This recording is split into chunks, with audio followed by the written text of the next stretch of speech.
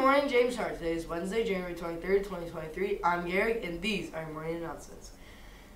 Today's lunch is cheese pizza, tossed salad with Italian dressing, dressing broccoli flores with ranch, dry, diced pears, and milk.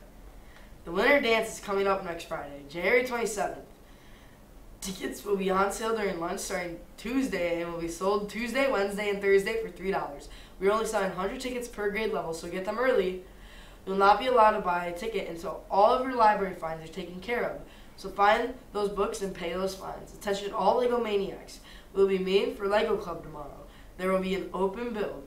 Please take your creation out of the cabinet and sort the pieces correctly. Then you can begin building. Be sure to have a ride home from the Morgan Street exit at 3:40 p.m.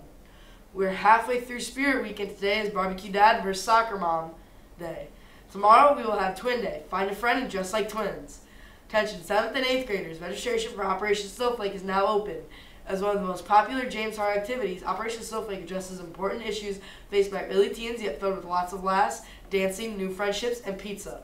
Students who attend learn to feel good about themselves and making positive choices.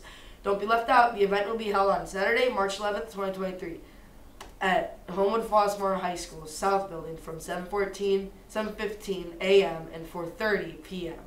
Deadline to register is Wednesday, January 25th. Your 8th grade social studies teacher or 7th grade science teacher has all registration information. Please see Mrs. Berry and room 18 if you have any questions. Now to Matt for today's forecast. Today will be a cloudy with a chance of snow showers in the morning. There will be a high of 31 and a low of 20. Now for the joke of the day. How did the hairstyle beat everyone to the finish line? He knew a shortcut. And yup, and yup, and yup. And now back to Gary in the studio. We'd like to wish a very happy birthday to Kavion Goodwin, Kennedy Rice, Johnny Thompson, and James Lapita Quinones. Happy birthday.